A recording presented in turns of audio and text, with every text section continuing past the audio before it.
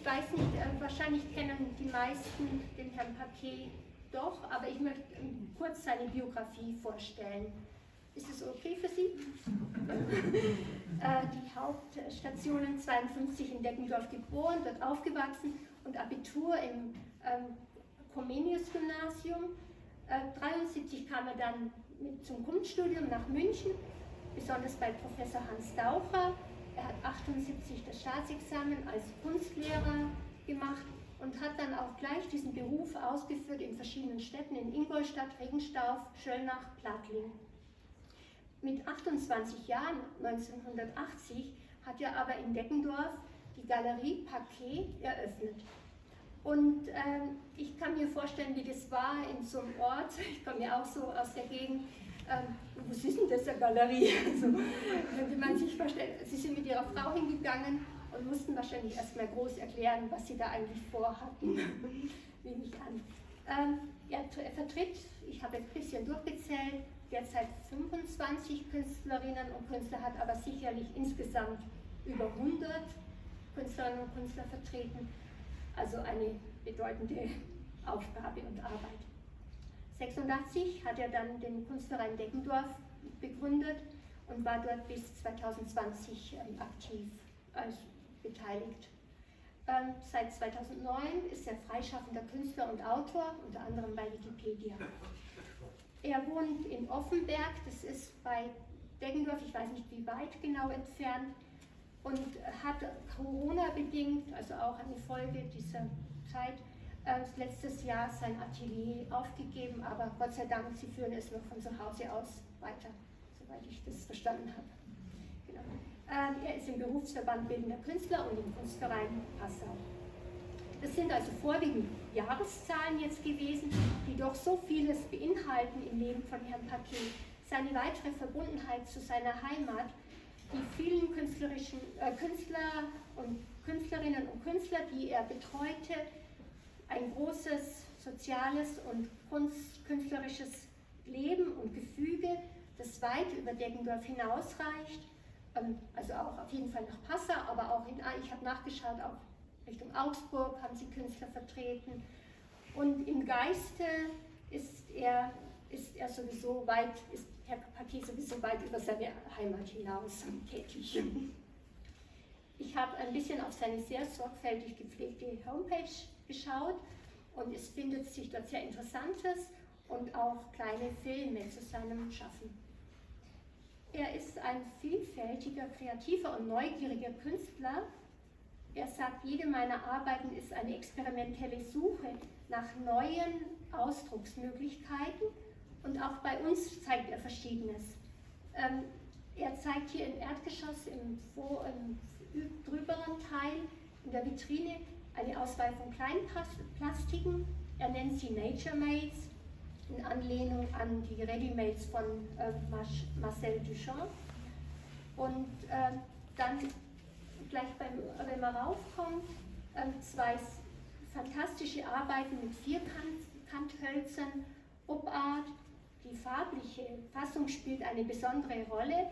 Je nach Blickwinkel der Betrachtenden ergibt sich ein völlig neues Bild und ich genieße das besonders immer, wenn ich da vorbeigehe während des Tages. Dann Pochbois-Serien, das ist Schablone, Schablonendruck oder auch Stencil-Technik, aufgetragen mit der Walze und das ist sein Hauptinstrument. Ich habe schon gedacht, vielleicht hat er eins, einen dabei heute.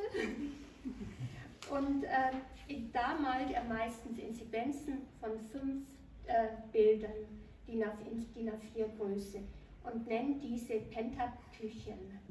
Dann ähm, Walzentechnik sind auch zwei große Tafeln, eine davon hier und eine im ersten Stock. Ja, dementsprechend ist auch unsere Ausstellung hier Alles Walze. betitelt, weil das der große Hauptteil ist.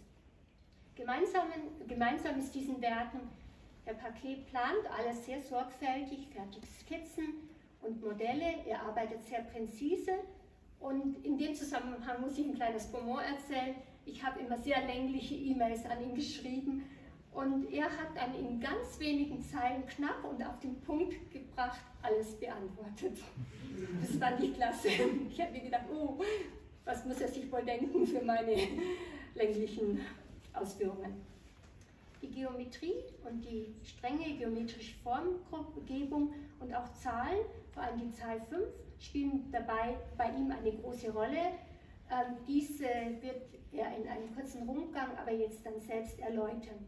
Äh, ich habe auch nur seine Werke dargestellt, damit Sie schon mal eine kleine Sortierung haben. Ich denke, er geht ein bisschen mehr in die Tiefe und dann wissen Sie vielleicht schon, welche Bereiche er hier in dieser Ausstellung abdeckt. Aber das ist nicht alles, er, hat, er macht noch mehr darüber hinaus. Aber dass er bei verschiedenen Ausstellungen in Deggendorf, Passau, Lackling und so weiter zeigt. Also das ist jetzt ein Teilbereich seines Wirkens. Ähm, ich möchte Ihnen im Namen der Münchner Stadtbibliothek großen Dank für Ihre Kunstausstellung aussprechen. Ebenso Ihrem Sohn, Quirin. Die beiden haben am Montag sehr hart gearbeitet. Und ähm, ja, lieber Herr Paquet, die Zusammenarbeit mit Ihnen war sehr toll und für mich eine Ehre, mit so einem erfahrenen Künstler und Galeristen zu arbeiten. Das war praktisch das erste Mal in dieser Bibliothek, als dass ich mit jemandem, der Galerist, der gleichzeitig auch Galerist ist, gearbeitet habe. Vielen Dank.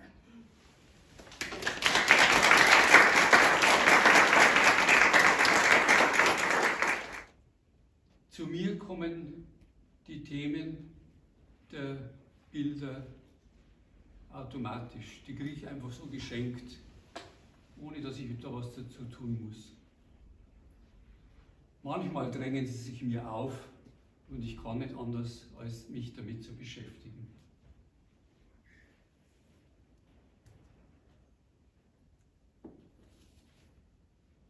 Bei dem Bild habe ich also angefangen, das zu planen.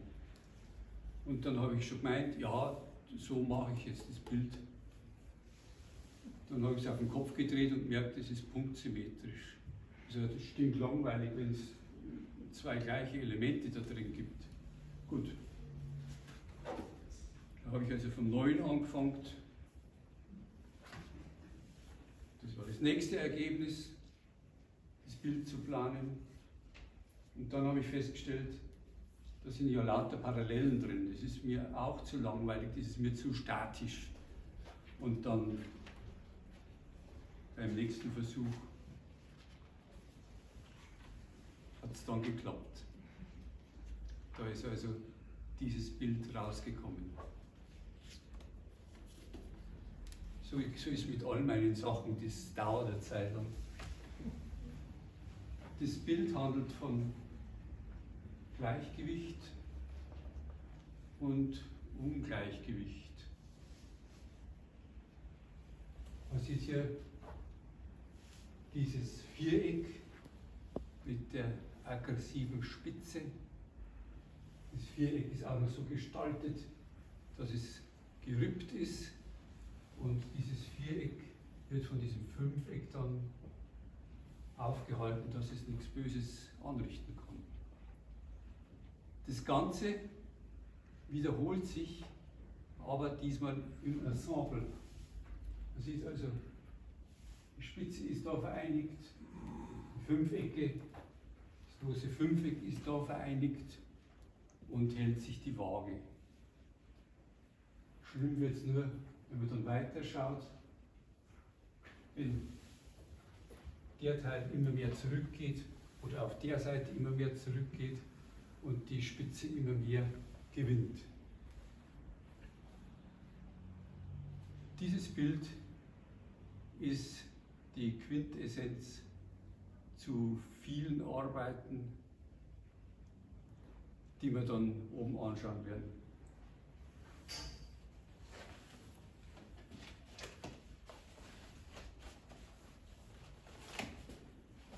Mhm.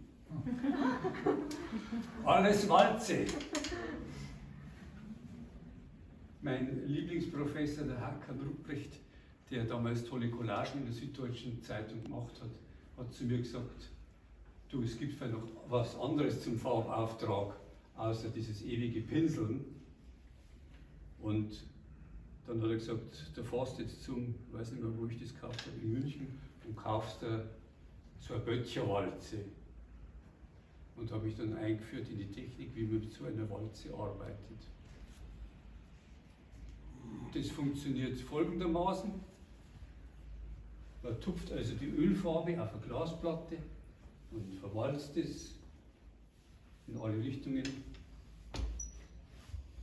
Und dann ist die Walze ganz, ganz ebenmäßig mit Farbe bedeckt.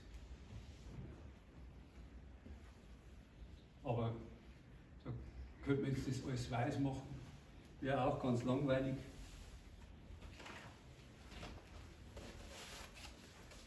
Ich habe dann eine Bekannte, die sammelt für mich schon solche Produkte, solche zerknüllten und gebrauchten Wellpappen oder da sind nur Papiere zerknüllt. Mit dieser sauber eingefärbten Walze gehe ich dann da drüber und dann ist das Muster auf der Walze.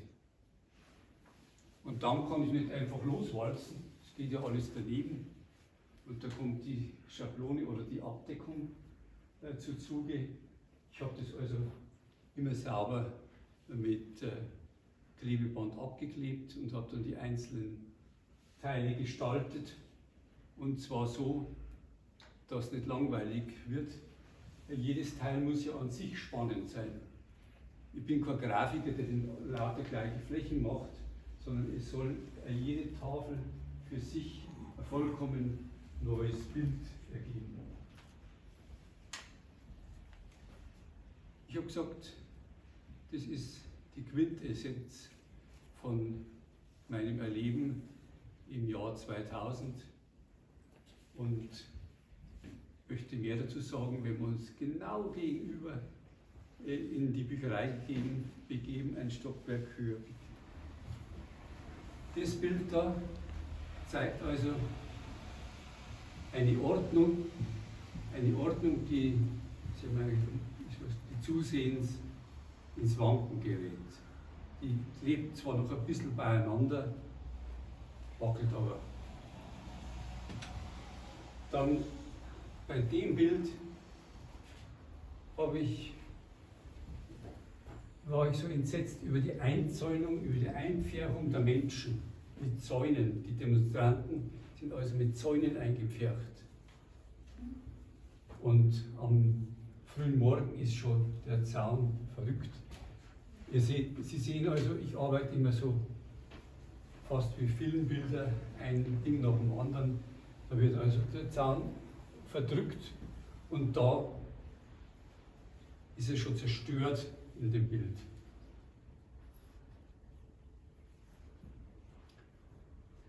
Man könnte jetzt ganz kitschig verletzte Leute malen oder sowas, aber ich glaube, das sagt sehr, sehr viel über die Gewalt gegen die Freiheit, über die Gewalt der Menschen aus, ohne dass kitschig wirkt. Das ist jetzt ein ganz anderes Thema und handelt nicht vom Leonardo da Vinci, sondern vom Leonardo da Pisa. Der Leonardo da Pisa ist Ihnen sicherlich besser bekannt als Fibonacci. Der Fibonacci war ein italienischer Mathematiker, und hat im Jahr 1201 eine Zahlenreihe entwickelt. Die Zahlenreihe geht immer von der Addition zweier benachbarten Zahlen aus. Also 1 und 1 ist 2, 2 und 1 ist 3, 3 und 2 ist 5, 5 und 3 ist 8, 8 und 5 ist 13 und so weiter und so fort. Er wollte damals die Kaninchenpopulation beschreiben, wie sich die vermehren. Aber es war sehr erstaunlich, er hat überhaupt die Formel des Wachstums in der Natur dadurch entwickelt. Also, ob man jetzt Ananasschalen, die nach Fibonacci-Zahlen aufbaut Schildkrötenpanzer, Blumenblätter in der Natur, ist sehr, sehr viel nach dieser Regel aufgebaut. Das ist also auch wieder das geplante Fibonacci-Bild. Fibonacci hat da auch der Harmonielehre, die es ja nicht nur für die Musiker gibt, lieber Peter, sondern auch für uns Künstler gelegt. Man sieht also dort zwei Quadrate mit der Seitenlänge von einer Einheit, dann eins mit doppelter Größe und eins und zwei ist drei, fünf und acht. Diese harmonische Spirale findet man dann wieder bei dem Nürnberger Künstler Albrecht Dürer. Der hat also diese ganzen Dinge wieder aufgegriffen. Es geht hin bis zum goldenen Schnitt, es geht die ganze Harmonielehre durch, die sich also auf diesen Fibonacci-Zahlen gründet. Und das hat mich also sehr, sehr fasziniert und fasziniert mich immer wieder. Jetzt kommen wir dann zum Schluss. Auch meine, ich nenne es einfach Opart, weil es mit Optik zu tun hat. Opart ist eigentlich ein bisschen anders definiert. Die beiden Opart-Werke, die ich so nenne, die habe ich beim Aufgang hingehängt, weil man dran vorbeigehen muss. Die verändern sich also total, wenn man sich als äh, Betrachter dran vorbei bewegt. Aber nicht nur als Betrachter kann man sich dran vorbei bewegen, man kann diese Vierkantstäbe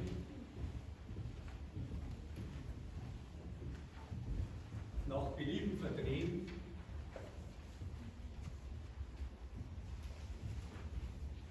Und so, ein Mathematikfreund hat man es mal ausgerechnet, wie viele Millionen Bilder also da draußen machen kann.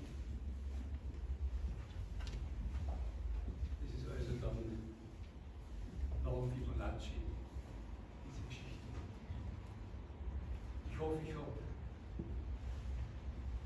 mich ein bisschen darstellen können und bedanke mich ganz herzlich bei eurer Aufmerksamkeit. Danke